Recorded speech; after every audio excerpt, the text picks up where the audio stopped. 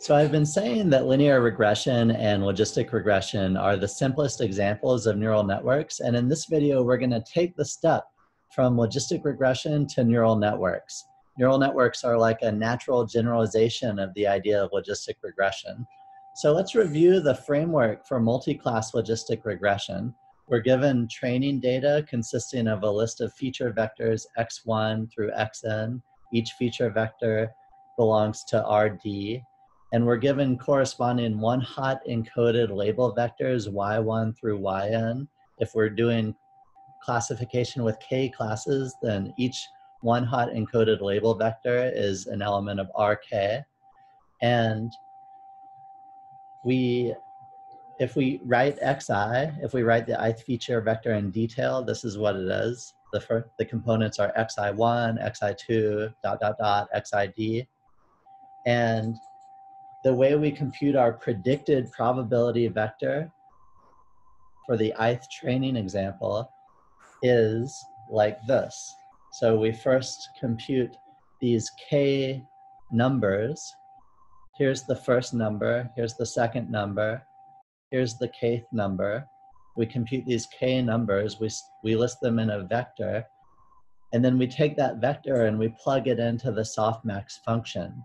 And as we know, the softmax function is useful in machine learning because it converts a vector into a probability vector. And we hope that this probability vector is consistent with the corresponding label vector for this training example. That's what we do. That's, how, that's what we've been doing. That's how multi-class logistic regression works. Now this function Let's, let's take a closer look at this function f here. I could write this using vector and matrix notation like that, like this.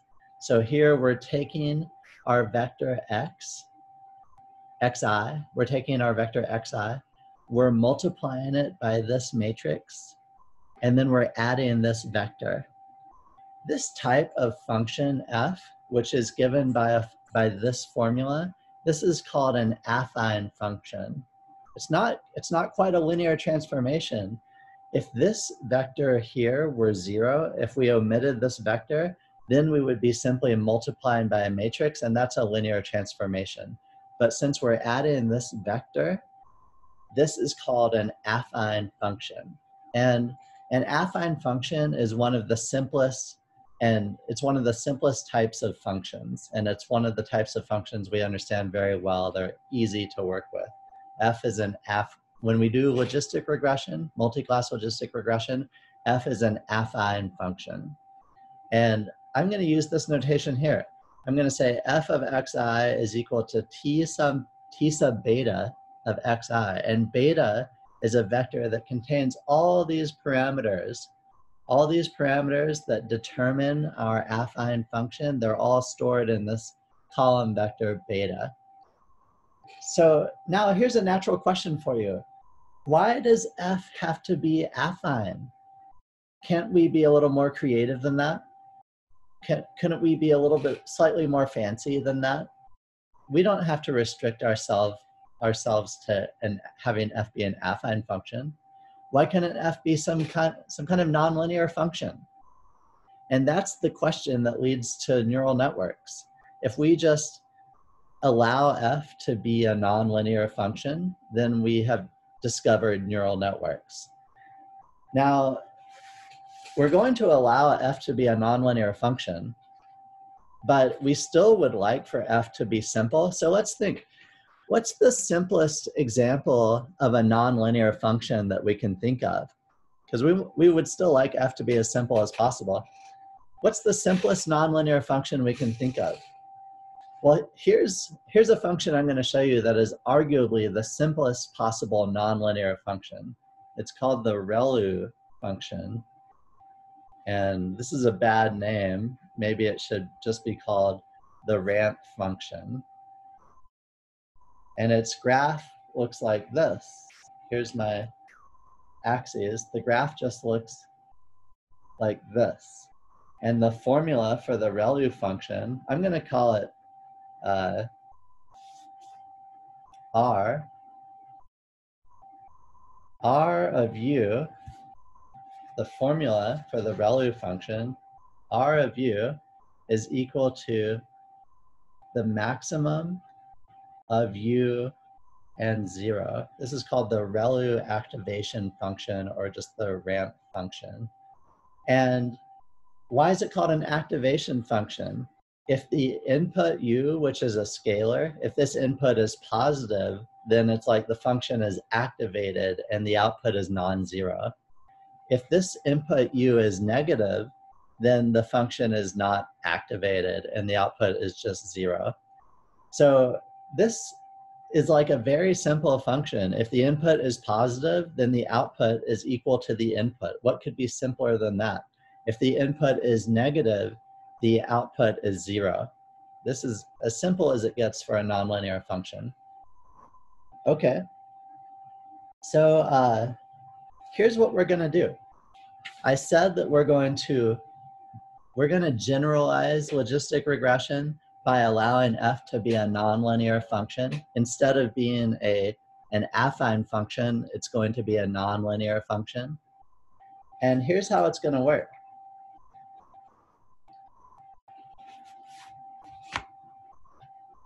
Here's how it works in a neural network.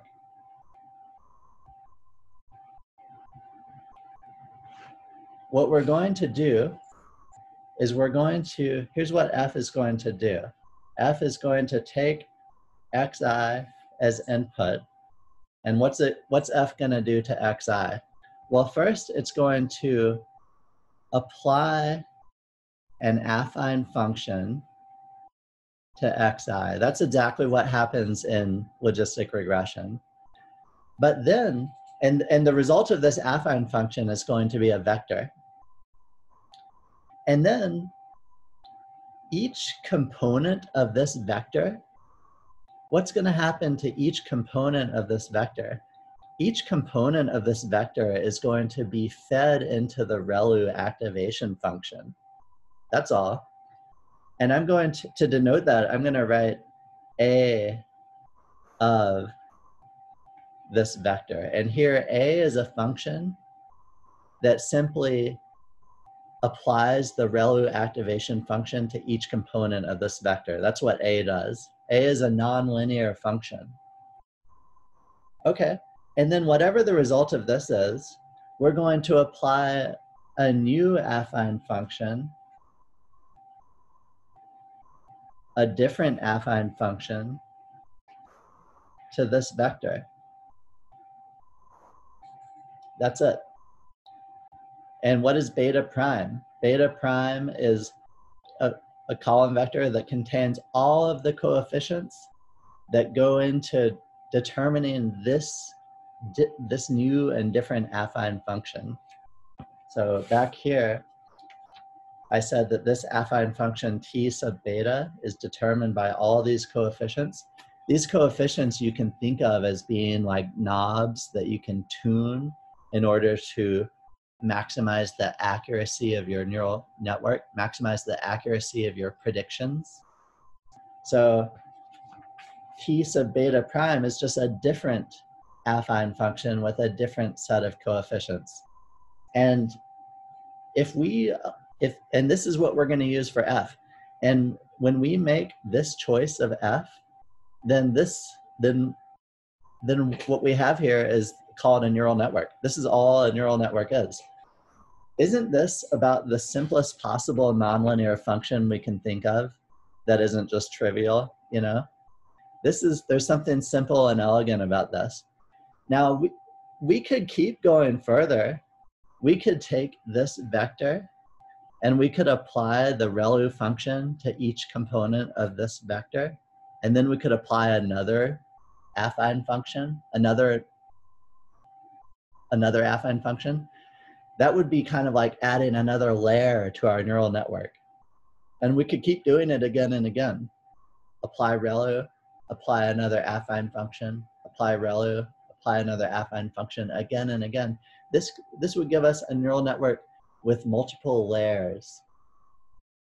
So we, and, it, and it's called, this particular type of neural network is called a, a dense neural network. This is like a vanilla neural network. It's also called like a, a feed forward neural network. That's all it is. So we're going to make this choice of F. And then, so, and then everything else works exactly the same way it worked with multi-class logistic regression. So how do we make our predicted probability vector? We're going to take our feature vector xi, we're going to plug it into f, which is now a nonlinear function. f is now a neural network. We're going to plug xi into f, which is a neural network. And then we're going to take the resulting vector and we're going to plug it into the softmax function and we're going to get, that's going to be our, our predicted probability vector. Now, one comment I should make is that here, the if we're doing multi-class classification with k classes, and if this is the function f that we're using, then this affine function t beta prime, it needs it needs to have k outputs. The output of this function should be a vector in rk. And the reason for that is because the output of f has to, we have to be able to plug it into the softmax function. And that's gonna give us a probability vector in RK. And we hope that that probability vector is consistent with the ground truth probability vector for this, for the particular training example that we're looking at. And how are we gonna measure the agreement between this predicted probability vector and the ground truth probability vector? Well, we do what we always do in machine learning. We use the cross entropy loss function to, to evaluate how well the predicted probability vector, to measure how well this predicted probability vector agrees with the ground truth probability vector. It works the same way as in logistic regression. It's just that f is a nonlinear function, that's all. Everything else is the same. And what's our loss function gonna be? What's our loss function gonna be? Well, it's exactly like in neural net, it's exactly like in logistic regression. L of beta comma beta prime is gonna be equal to the sum from i equals 1 to n of L. Here, lowercase l is the cross entropy loss function. And then here's yi, the ground truth probability vector for the ith training example. And then here's s of f of xi. This is our predicted probability vector for the ith training example.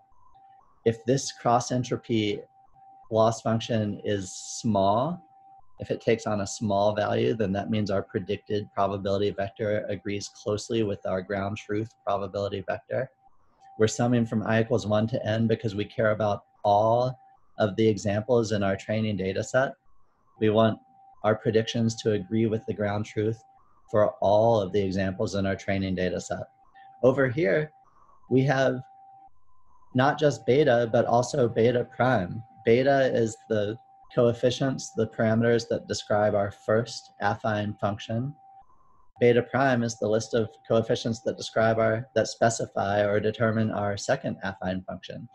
All of the, all of these coefficients that are stored in beta and beta prime, all those parameters, those are all knobs that we can tune. We can turn those knobs in order to maximize the accuracy of our predictions. In other words, we turn them we turn these knobs, we tune these knobs in order to make this loss, this cost function as small as possible. That's how we train our neural network. And how do we, how do we do that? How do we minimize this cost function? Well, just like before, we just use stochastic gradient. We use either gradient descent or we use stochastic gradient descent. In practice, we use stochastic gradient descent. That, and that's how we train a neural network. That's what a neural network is, and that's how we train a neural network. So it's actually quite similar to multi-class logistic regression. And when people describe neural networks, they often draw pictures like this. This is a picture that represents the same function that I just described to you. So this neural network, it takes a feature vector xi as input, and the components of this feature vector are visualized here. Each, each of these nodes corresponds to one component of the feature vector. And then uh, in this picture, each you can think of each of these nodes here as performing its own little calculation. So each of these nodes has, you can think of it as having its own set of parameters. Each node has a vector of weights and also a bias term. And each of these nodes performs its own little computation. So what does this first node do? What it does is it takes the vector xi, it computes a dot product with the weight vector that belongs to this node, and then it adds the bias term that belongs to this node. It takes that result, which is a number, and it plugs it into the ReLU activation function, and it, the result is a number. And that number is the output of this particular node. And that's what each of these nodes does. This node, what does it do? What calculation does it perform? Well, just let, same thing. It takes the vector xi as input, it computes the dot product with this node's own special weight vector, it adds the bias term that belongs to this particular node, and it takes that result and plugs it into the ReLU activation function. The result is a number. That number is the output of this node. Each of these nodes does the same thing. Okay, and then we have our final layer here. So what does this node do? This node takes the list of outputs from this layer takes that vector of outputs, computes a dot product with the weight vector that belongs to this node, and adds the bias term that belongs to this node. And then that number gets plugged into the softmax function. It's that, that number in, is one of the components of the vector that gets plugged into the softmax function. In this picture here that we're looking at, this in this picture, we're doing classification with four classes. That's why we have four outputs here. This gives us, these four outputs give us a vector with four components. That vector with four components is going to get plugged into the softmax function. And the result is going to be a probability vector that tells us, what does that probability vector tell us? it tells us the probability, the predicted probability that xi, the ith training example, belongs to each of the four classes. So this is a visual way of you know, visualizing what a neural network does. So now I want to show you a really simple example of how to train a neural network using TensorFlow. So uh, and TensorFlow is one of the most popular packages for training neural networks. When you hear people talk about training neural networks, they're always using TensorFlow or else PyTorch. Those are the two most popular uh, neural network frameworks.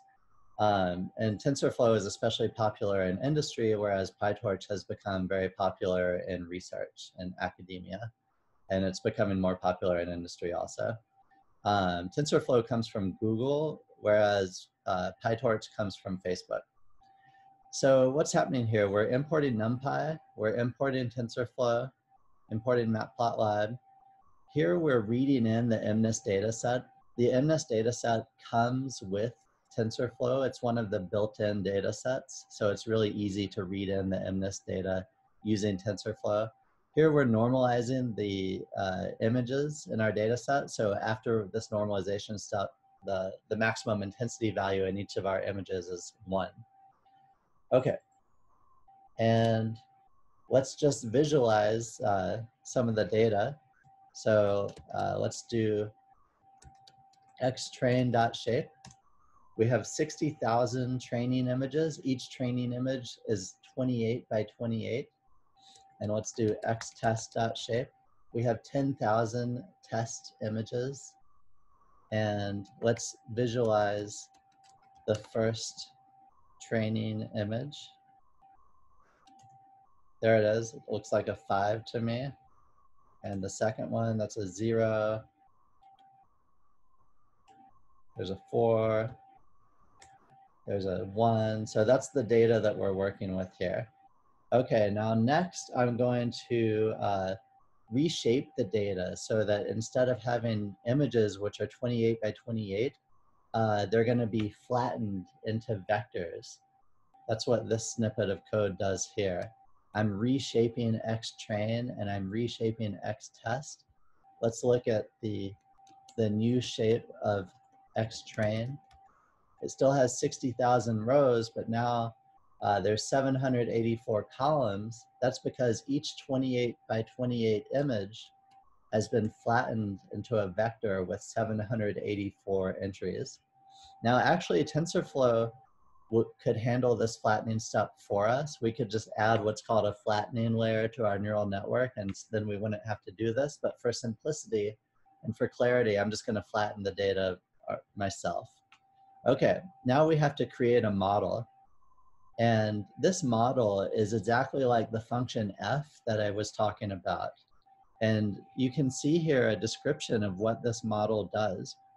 Uh, it, this model, it's, a it's our function f, it takes a feature vector xi as input, and then it applies an affine transformation, and then it applies the ReLU activation function to each of the uh, numbers in that resulting vector, each of the components in that resulting vector, and then it applies another affine transformation, just like we talked about. That's what's happening here.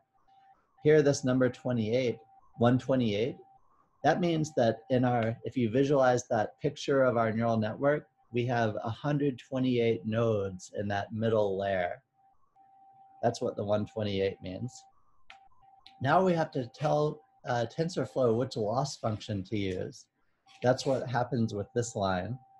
And this loss function is exactly the same loss function that we talked about. So this loss function, what it does is it takes a vector u, it applies the softmax function, it computes the cross entropy uh, loss function to compare how well the predicted probability vector agrees with the ground truth probability vector. And then it returns uh, that loss function value as output. That's what this loss function does. And then we have, there's this compilation step where we have to compile our model and then we're ready to train our model.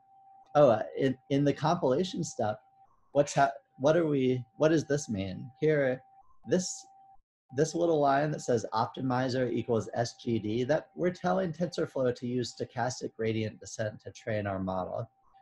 Um, and then we're telling it which loss function to use. We're saying use this loss function here. And then this metric accuracy, that means that as the as we train our model, we're going to keep track of our classification accuracy on the training data just to see just to see whether or not we're making progress. Okay, and then this line here is where we actually train the neural network. So let's just let's run this code. And now we're on the first epoch of gradient descent. You can see our accuracy on the training data is 83% after the first iteration, and now it's up to 90%. Now it's up to 92, almost 92%. So we're, so the optimization algorithm is working. We're training the neural network using stochastic gradient descent right now. Uh, TensorFlow does the training for us. So like in practice, uh, we're not gonna be like implementing stochastic gradient descent in practice to train our neural network. Instead, we're just going to have TensorFlow do it for us. So it's it's great to understand how stochastic gradient descent works, just so you just so we have a deep understanding of neural networks and how they're trained. Uh, but uh, TensorFlow does all the work for us. Look how short this code is with this very small amount of code. What is this, like 10 lines of code? we're training a neural network with just 10 lines of code. And by the way, that this code is running on my CPU. Uh, if it were running on a GPU, then it would have been much faster. It would have been like almost instant, almost instantaneous, or it would have been just a few seconds. Um, so now the neural network has been trained. And now finally, let's test, let's check out the accuracy of our neural network uh, on the test data. Let's see how we do. Okay, so we had 95% accuracy, 95.26%. That's already better than we got with multi-class logistic regression. Remember, we got 92% with multi-class logistic regression. So we have already made an improvement. And this is like a very simple neural network. So uh, we will be able to improve on this result by, uh, by having a slightly fancier neural network. But this is the basic process of how you train a neural network using TensorFlow. Now I want to make sure we really understand what this loss function is doing. So I'm going to implement my own version of this loss function, and then we'll understand in detail what the loss function is doing. So let's first implement the softmax function. We've done this before. We just apply the exponential function to each component of the input vector, and then we normalize. So normalize like that. That's the softmax function. Now let's define the cross entropy loss function. We've also done this before. We have to do the dot product with p between p and the vector we get by applying the log, the natural log function to each component of q. There's the cross entropy loss function. Now let me define my own loss function. It's going to take a label y as input. It's going to take a vector u if we're doing multi-class classification with k classes, then uh, the size of u is going to be k. And I need, this y is not yet one hot encoded. I need to do one hot encoding. So let me create a vector called y one hot. I'll initialize y one hot to be all zeros, and then I'll say y one hot of y is equal to 1. So for example, if y is 7 and k is 10, then y1 hot is a vector that has 10 components and the seventh component is equal to 1. So we just did one hot encoding. Now that we've done one hot encoding, uh, I just need to compute the value that our loss function should return. So it's, let's return cross entropy, the cross entropy between y1 hot and softmax of u. There we go. Now let's, that's our own implementation of the loss function. Now let's try it out on the first image in the test data set. There's the first image in the test data set. There's the first label, the corresponding label in the test data set. Let's plug xi into our model. The result is a vector with k numbers. And then let's print the loss function value that we get when we use yi and u as input. Now let's just run this section of code and there's our loss function value. And now let's check and see if we get the same thing when we apply this, when we use this loss function up here. So let's do, let's print loss fn of yiu. Okay, and you see we have agreement. Our value was 0.00, 0.00389 and TensorFlow's value was 0.00389. So we have agreement. So this in detail is what our loss function is doing.